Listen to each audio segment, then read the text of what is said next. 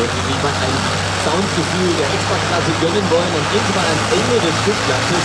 Genau dort, wo die Tiefkühle